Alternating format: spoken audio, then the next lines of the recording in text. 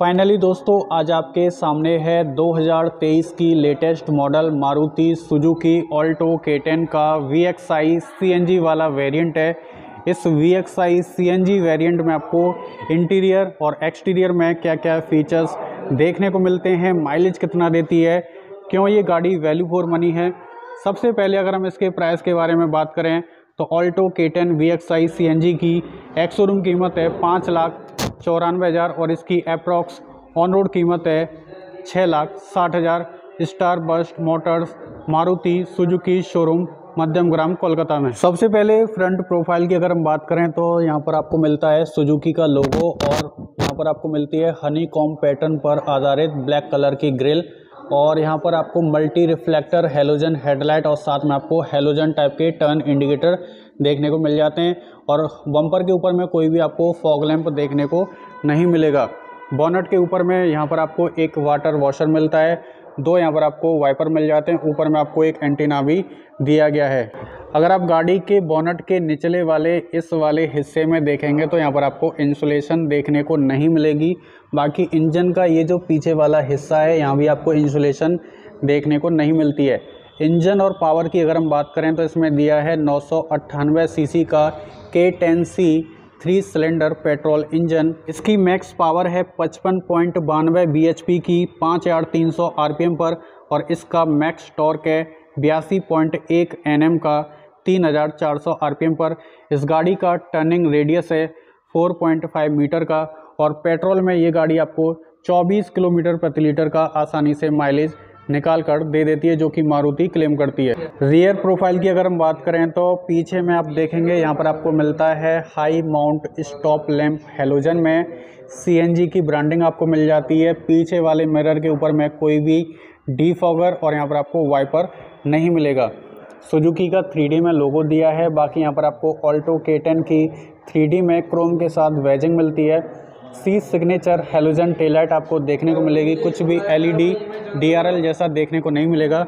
पीछे वाले बम्पर के ऊपर में आपको दो रिवर्स पार्किंग सेंसर देखने को मिल जाते हैं। तो दोस्तों, फाइनली आप देख सकते हैं, गाड़ी का जो बूट है, वो मैंने ओपन करके आपको दिखा दिया है। अगर आप इसमें पेट्रोल वाले वेरिएंट में जाते हैं, उसमें आपको 214 लीटर का बूट मिल जाता है, लेकिन इसमें आपको बूट नहीं मिलेगा।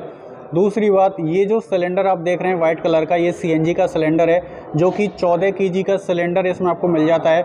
अगर हम कैपेसिटी की बात करें तो जहाँ से भी आप सीएनजी को फिल कराते हैं, अगर उसमें प्रेशर अच्छा होगा तो इस सिलेंडर में आराम से 9 से 10 के गैस आ जाएगी। अगर हम माइलेज की बात करें तो कंपनी क्लेम करती है कि ये जो गाड़ी है, वो एक किलो सीएनजी में आपको 33 का माइलेज निकाल कर दे देगी। अगर आप इसका पूरा सिलेंडर फिल करा लेते हैं 9 से 10 के तक तो ये पूरे सिलेंडर में आपको लगभग 270 से लेकर 300 किलोमीटर तक का हाईएस्ट माइलेज एक फुल सिलेंडर में निकाल कर दे सकती है। अभी मैं आपको दिखाता हूँ इस गाड़ी का सेकंड रो इंटीरियर तो यहाँ पर आपको रियर वाले जो मिरर मिलते हैं, वो मैनुअली मिलेंगे। बाकी यहाँ पर स्पीकर लगवा सकते हैं ड्यूअल टोन कलर के साथ। यहाँ पर आपको काफ़ी अच्छी क्वेश्चन के साथ सीट मिलती हैं। और यहाँ पर नॉन एडजस्टेबल आपको हेडरेस्ट मिल जाते हैं। दूसरी बात मैं आपको बता दूँ, अगर आप इसकी स्टेपनी, ये जो पीछे वाला टायर है, अगर आप इसको निकालना चाहते हैं तो ये जो पीछे वाली सीट है, वो आपको फोल्ड करनी पड़ेगी, डाउन करनी पड़ेगी। तो यहाँ से आप इसके नट को खोलकर आसानी से टायर को निकाल सकते हैं। दूसरी बात, यहाँ पर आपको थोड़ा बहुत, इतना तो स्पेस मिल जाता है, जिसमें आप अपने थोड़े बहुत कैरी बैग को आसानी से कैरी कर पाएँगे दोस्तों। बाकी रियर में आपको काफ़ी अच्छा यहाँ पर आपको स्पेस भी मिल जाता है, जैसा कि यहाँ से आप इस गाड़ी के इंटीरियर को देख सकते हैं। जैसा कि ये ऑल्टो केटन है तो ये जो गाड़ी है, वो पुरानी वाली ऑल्टो 800 से देखने में डायमेंशंस के हिसाब से काफ़ी बड़ी नज़र आती है।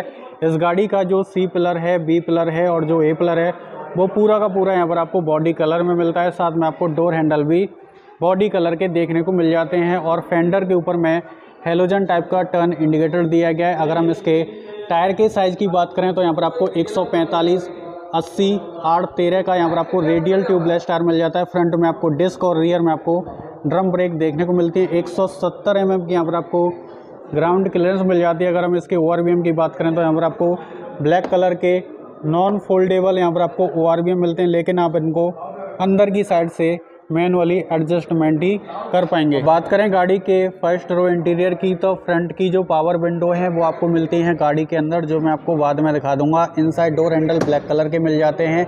जैसा कि ये सीएनजी वाला वेरियंट है तो इसमें आपको सेफ्टी इंस्ट्रक्शन का एक स्टिकर दिया गया आप इसको सावधानी पूर्वक पढ़ सकते हैं। बाकी नीचे में एक लीटर की पानी की बॉटल को रख सकते हैं और यहाँ पर आपको थोड़ा सा स्पेस और यहाँ भी आपको थोड़ा सा स्पेस देखने को मिलता है।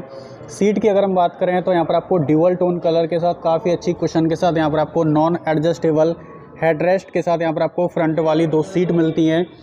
आगे और पीछे कर सकते हैं, इसमें आपको सीट हाइट एडजस्टमेंट देखने को नहीं मिलेगा।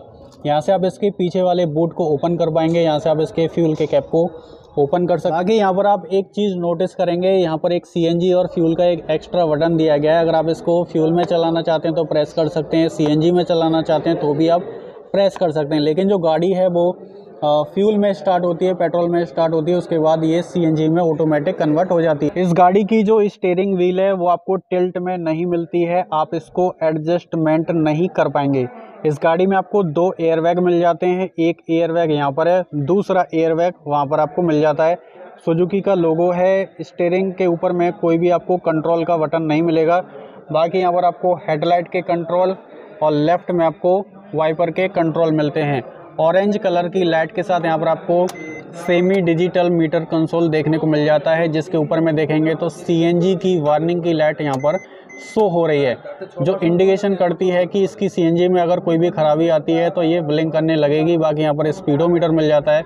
छोटी सी ये जो डिस्प्ले इसमें आप फ्यूल और सीएनजी की वार्निंग को देख सकते हैं कि जो गाड़ी है वो आपकी अभी पेट्रोल में चल रही है या फिर सीएनजी में चल रही है। यहाँ पर फ्यूल गेज और सबसे अच्छी बात, इसमें आपको रियल टाइम माइलेज इंडिकेटर मिल जाता है डिस्टेंस टू एम वाला फीचर्स मिल जाता है। सबसे पहले मैं गाड़ी को यहाँ से स्टार्ट कर देता हूँ क्लच को दबाकर। आप देख सकते हैं, गाड़ी अभी स्टार्ट हो चुकी है और ये जो सीएनजी का बटन है, आप इससे इसको पेट्रोल में भी कर सकते हैं। अभी ये पेट्रोल में दिखाई दे रही है, आप देख सकते हैं, दोबारा से मैंने बटन को प्रेस किया तो ये सीएनजी में आ गई। तो ये आपकी चॉइस है, आप इसको किसमें चलाना चाहते हैं? हम गाड़ी के डैशबोर्ड की बात करें तो काफ़ी अच्छी बिल्ड क्वालिटी का इसका डैशबोर्ड है। आप देख सकते हैं, बहुत ज़्यादा दबाने पर नहीं दब रहा है। और यहाँ पर आपको चार एसी के वेंट मिल जाते हैं, एक, दो, तीन और यहाँ पर चौथा ये रहा। और इसमें आपको कंपनी फिटेड म्यूज़िक सिस्टम भी देखने को मिल जाता है। बाहर से आपको लगवाने की ज़रूरत नहीं है, अगर आप चाहें तो इसमें टच स्क्रीन वाला भी लगवा सकते हैं। यहाँ पर आपको ऑक्स केबल का सेटअप वगैरह देखने को मिल जाएगा। और लो फ्यूल की अलर्ट यहाँ पर अभी दिखा रहा है। यहाँ पर आपको जो है वो वॉल्यूम, पावर ऑन ऑफ़ का बटन, बाकी नीचे में आपको फ्रंट के दो पावर विंडो के बटन मिल जाते हैं। लेकिन मुझे अनकंफर्टेबल लगते हैं ये वाले जो बटन है, वो कंपनी को जो है वो विंडो के साइड में ही देने चाहिए थे। और सेंटर में आपको जो है वो मिल जाता है हेजार्ड का बटन। नीचे में एसी हीटर और एयर के कंट्रोल के बटन मिलते हैं। नीचे में आपको 12 बोल्ट का चार्जिंग का सॉकेट मिल जाता है, यहाँ पर थोड़ा सा स्पेस दो कप होल्डर मिल जाते हैं। इसमें आपको फाइव स्पीड गियर बॉक्स का सेटअप मिलता है। साथ में आपको थोड़ा सा स्पेस सेंटर की तरफ़ देखने को मिलेगा। ये है इसकी जो है वो ब्रेक हैंड की नॉब और यहाँ भी आपको थोड़ा सा स्पेस देखने को मिल जाता है पीछे वाले।